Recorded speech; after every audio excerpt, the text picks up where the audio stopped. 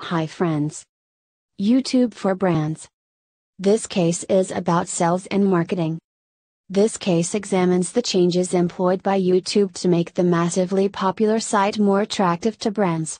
Building from its base of amateur, user generated content, YouTube had turned to experimenting with professionally made content and organizing its videos into channels.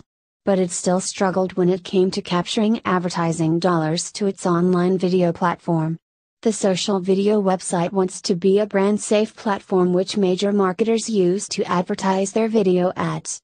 Should major brands switch a significant portion of their TV advertising budget to online ads on YouTube?